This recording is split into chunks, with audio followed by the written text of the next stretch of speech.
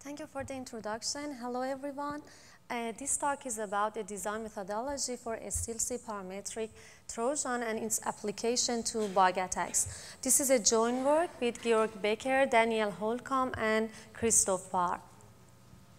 Hardware Trojan gets a lot of attention these days many potential attacks uh, vector. There are many potential attacks vector, uh, such as malicious employees or malicious IC design company under uh, government pressure or third-party IP cores.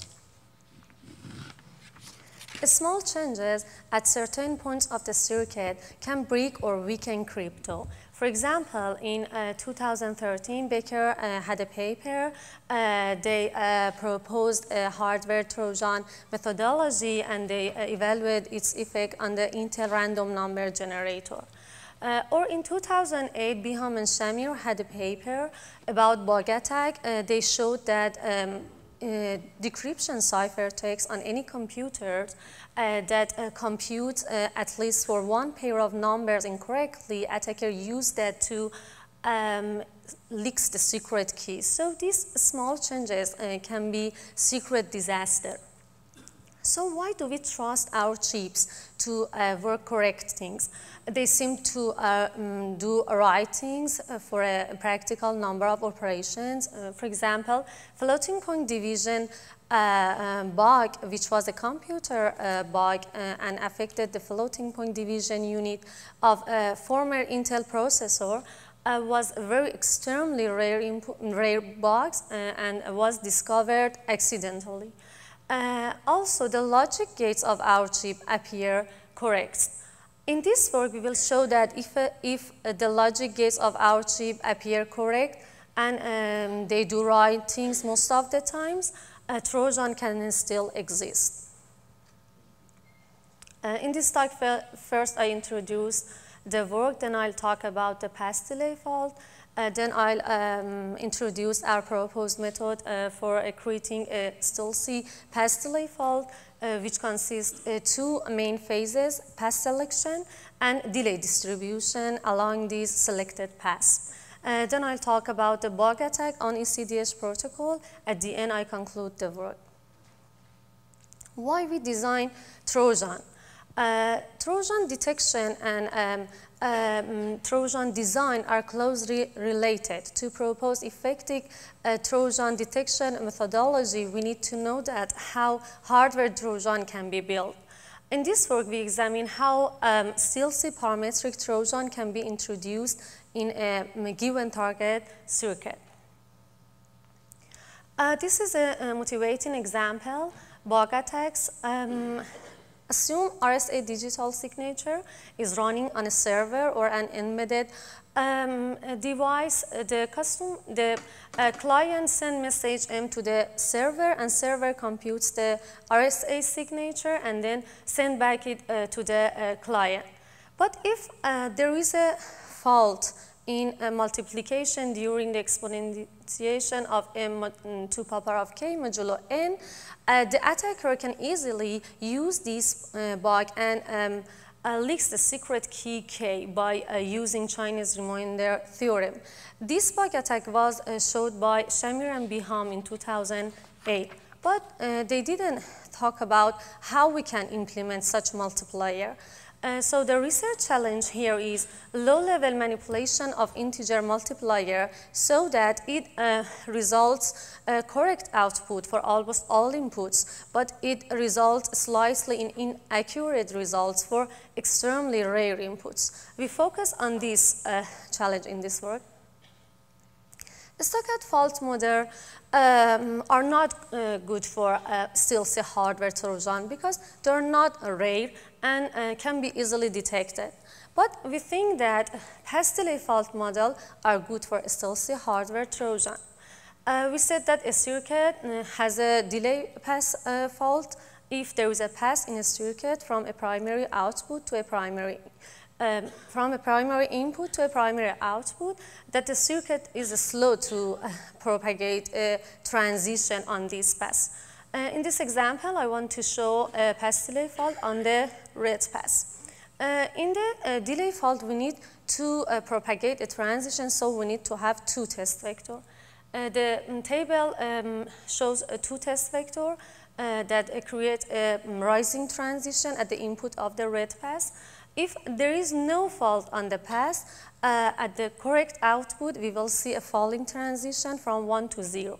But if there is a delay fault on this pass, uh, the faulty output um, remains uh, at the uh, level 1 and we cannot see transition at the output. Two main properties uh, for a viable delay-based Trojan are uh, triggerability and stealthiness. Triggerability means that for secret inputs which are known to the attacker, Trojan results in an error with, um, uh, uh with very high probability.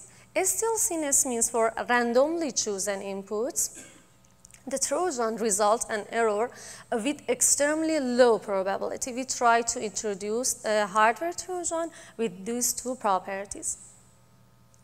Now I'm going to talk about our method for creating a stealthy uh, delay file.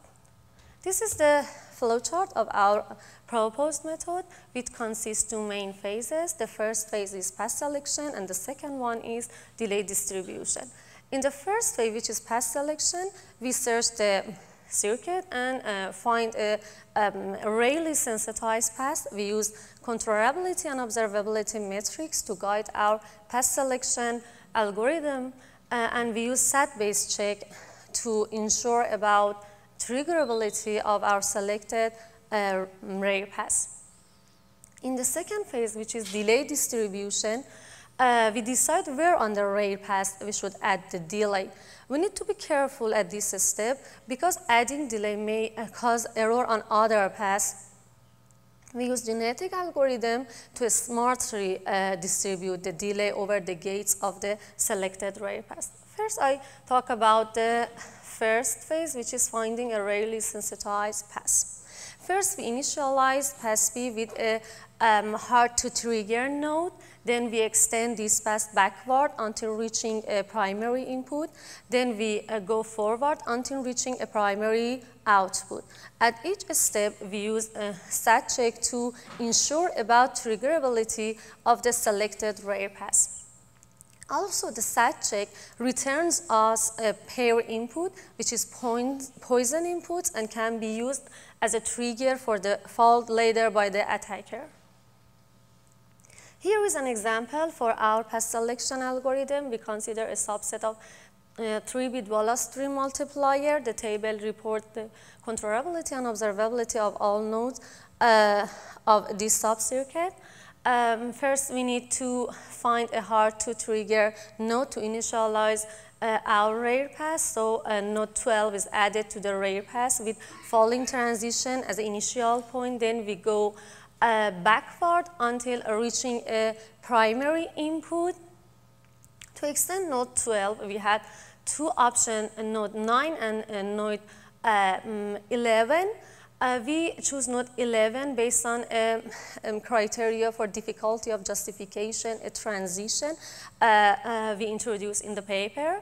Uh, um, then uh, between 6 and 8, and node 6 is chosen, and then node 3, and then node 1. And note that at each step, SAT check uh, is used to ensure about the triggerability of the uh, selected rare pass. The next step is going forward until reaching a primary output.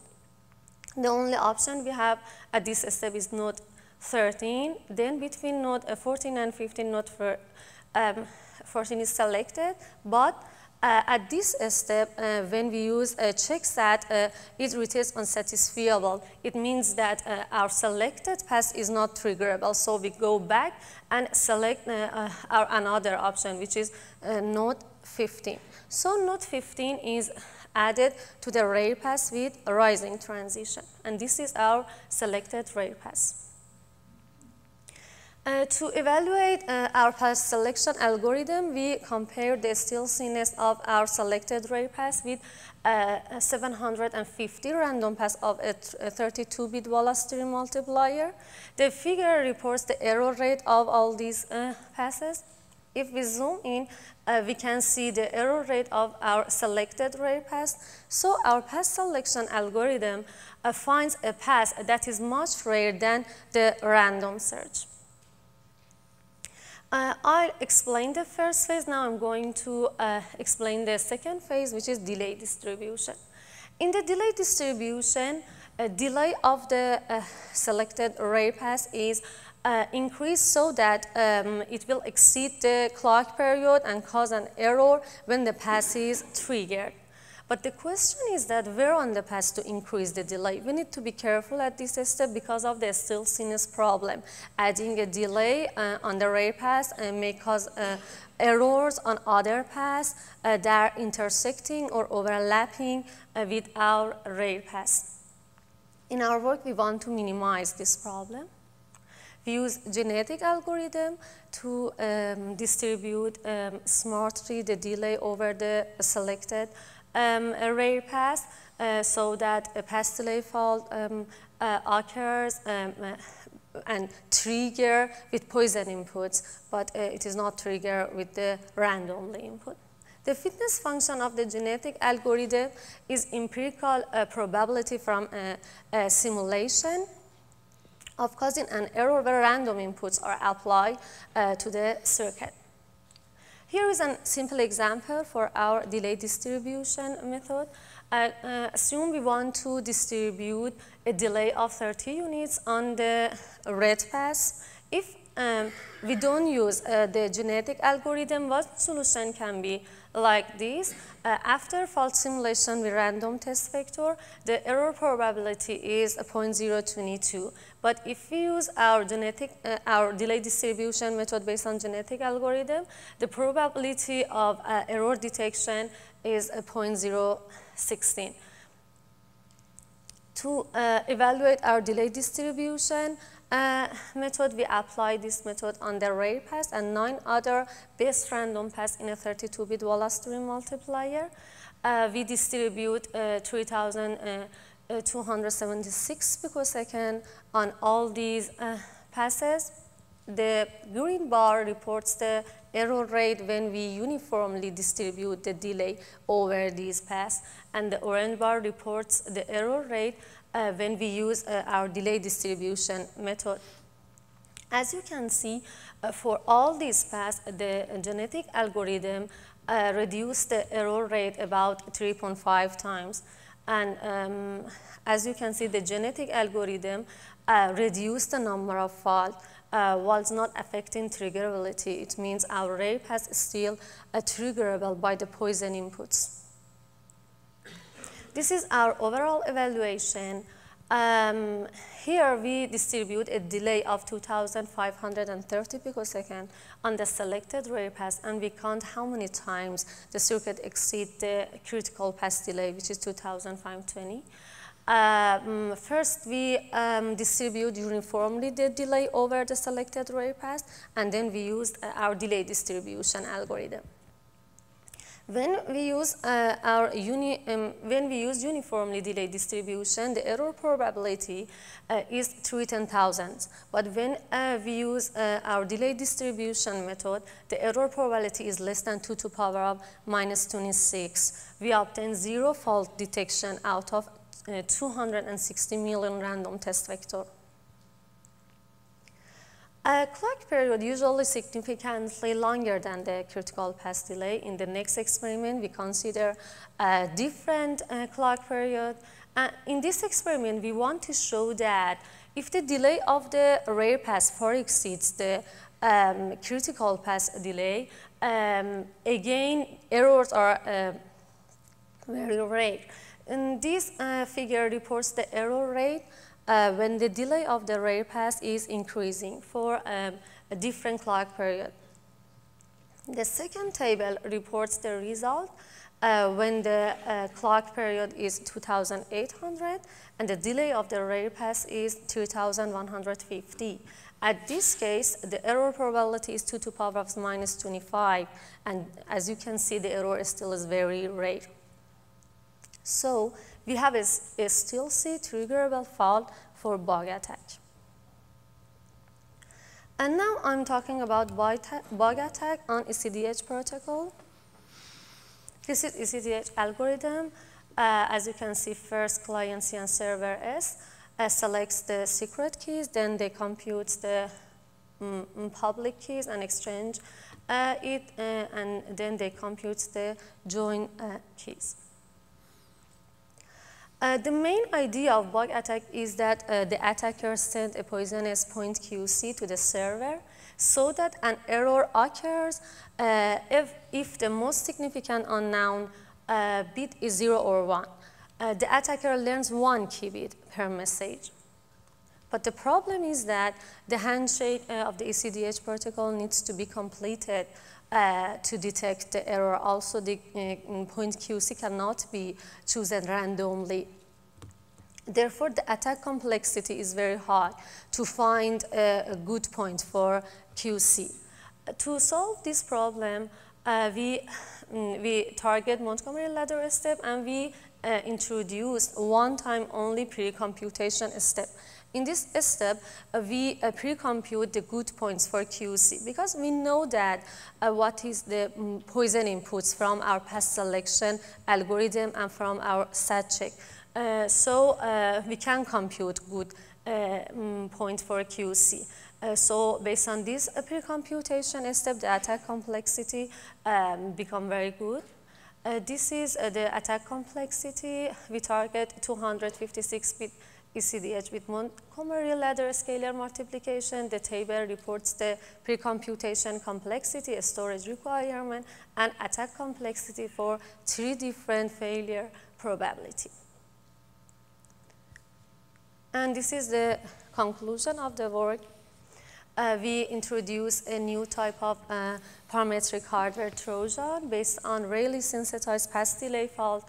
We present a SAT-based uh, algorithm to search the circuit for find a extremely rare uh, and we present a delay distribution method using genetic algorithm. We modify a 32-bit uh, multiplier so that it results uh, slightly faulty output for extremely rare inputs, and uh, we talk about bug attack against ECDH implementation. Thank you. Thank you very much.